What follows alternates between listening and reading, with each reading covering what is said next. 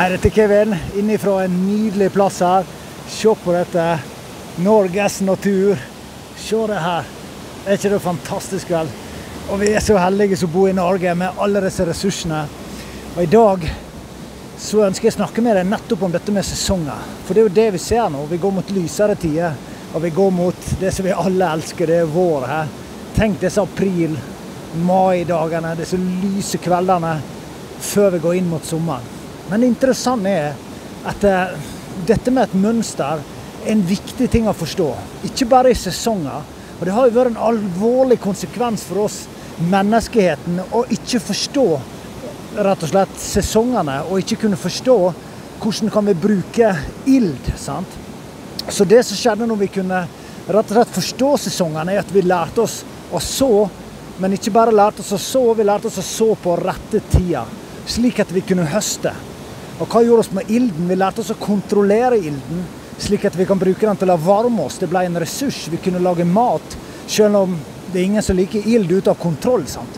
Det er det ekstremt skremmende, sier Men det er jo det samme som skjer når vi kommer inn i en livskrise. Så må vi forstå at det er et mønster på den livskrisen. Og det er helt greit å gå ned i en følelsesmessig vanskelig tilstand en, en periode, men du ønsker ikke å være der i månedsvis. Du ønsker ikke å være der i år, for å si det sånn. Og denne uka her så snakket jeg med ei som føler at hun har stått fast. Hun har hatt det vanskelig etter en skilsmisse i 19 år. Altså 1-9. Det betyr snart to tiår. Og det er ikke nødvendig. Og det er ikke sånn livet er. Og mye av grunnen da til vi kommer i den smerten, og når det blir så smertefullt over lang tid, så kan vi miste håpet. Og når vi mister håpet ved en håpløshetstilstand, så blir vi deprimerte. Sant? For du, du, ser ikke noen løsning ut av dette, og du tror at smerten skal vare for alltid. Men smerten varer ikke for alltid. Det er det som er så fint å forstå. Smerte er midlertidig. Ære varer for alltid. Det er det vi lærte i militæret. sant? Smerte er midlertidig. Ære er for alltid. Så rett og slett det vi ønsker å forstå da, er at vi gjør visse mønster som skaper denne smerten. Og med det så kan vi komme oss ut av den smerten. Så denne uka her så hørte jeg om en ny bok som jeg nå skal bestille. Og Det er en kvinne som skrev en bok når hun var 104 år gammel. Og Det spesielle med denne kvinna her, det er at eh, hun nå dessverre er død. Hun levde til hun var 108 år. Men hun opplevde konsentrasjonsleir. Men ikke bare opplevde konsentrasjonsleir, hun var mor i konsentrasjonsleir.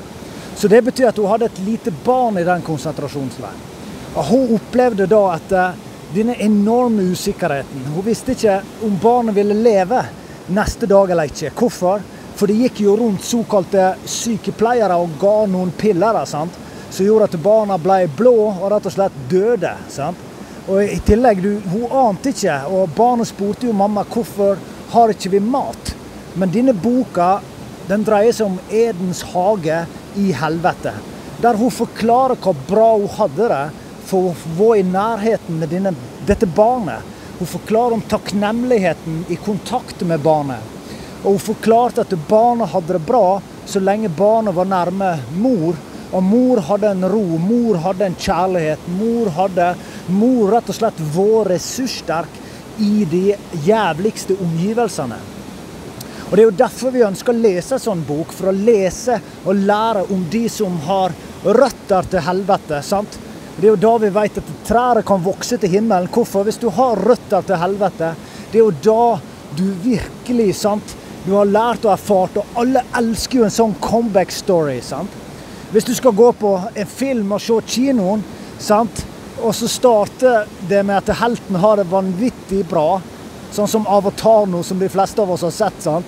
Det starter med at helten har det nydelig. Sant? Han eh, hopper rundt i et perfekt klima. Han har ei lita badebukse på seg. Han har pil og bue. Sant? De jakter noe greier som de spiser. Og kvelden sovner de til stjerneskinn og måneskinn.